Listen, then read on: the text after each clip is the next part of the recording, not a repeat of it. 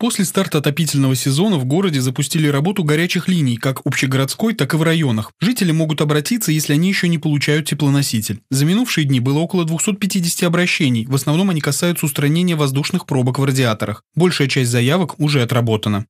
У нас было на городскую линию одно обращение, оно отработано по местной линии, которая работает у нас в отделе ЖКХ, поступило 10 обращений, 8 отработали, 2 сегодня будет в работе. О работе по планомерному подключению домов и устранению возникающих сложностей говорили на совещании в Департаменте городского хозяйства под руководством исполняющего обязанности главы Самары Ивана Носкова. Также обсудили текущее состояние завершения модернизации теплосетей в городе. Из 24 объектов, что были в плане на этот год, осталось несколько участков, где работы уже вышли на финишную прямую. Первый второй забор от самолета первый, переключаем ее сегодня на основную, запускаем, и дома запускаем на основную. На сегодняшний день практически во все соцучреждения подается отопление. В частности, объекты образования и спорта подключены на 100%, а жилой фонд города снабжен теплом на 95%. Давайте так сделаем, чтобы нам друг другу не было стыдно смотреть в глаза, а самое главное люди.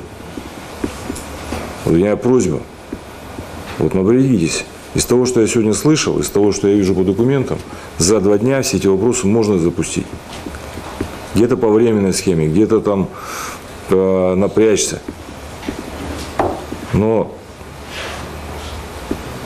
это решаемый вопрос. Комплексная работа по подключению тепла будет продолжена. С вопросами можно обратиться на горячие линии по вопросам отопления. Все номера можно найти на сайте городской администрации.